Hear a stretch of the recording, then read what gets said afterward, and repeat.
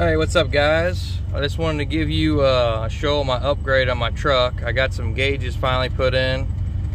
Uh, took me a while to get the fuel working on it because I had some issues with my brand new sending unit, go figures.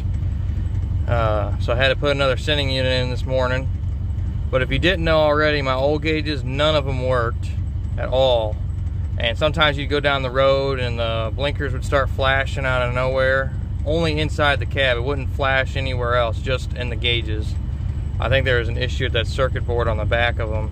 If you didn't already know, they probably had issues probably back in the day, I'm guessing, on that thing. But, uh, but yeah, this is an Intellitronix uh, gauge cluster. It's actually really easy to install. Uh, it doesn't take much. There's a couple things I didn't like about it, which I'm going to show you in the instructions.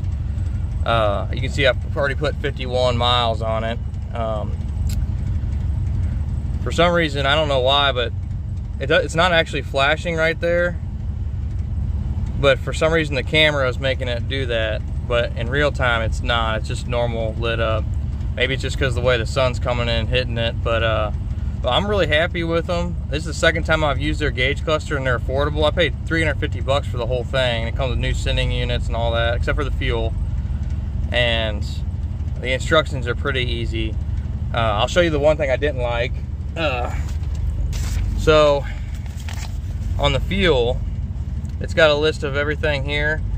And my dumb butt, I went straight to the GM one because I've done this before. Last time I went straight to four, I went straight to the GM one, and you can see that the switches are not colored, and it doesn't really specify which one's down, which one's up. And I just looked at it and I was like, oh, white's up.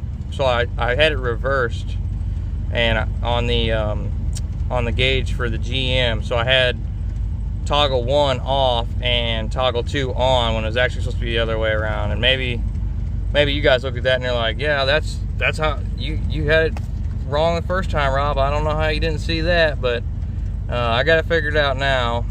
That was my first trouble, and then re-diagnosing my brand new sending unit being out. That was kind of annoying, but that's all right. I got a flatbed, so it's easy to change out. But, but yeah, uh, you know, it goes right up. You know, I get some gas. You know, goes up. The fuel gauge is working. There's the oil pressure. It's going up. Temps finally starting to creep up a little bit, but it's real easy. And then you can see I got a. I left my fuel real loose like that because uh, I like to solder all my connections because I'm weird. I guess because I worked at the GM dealership, I got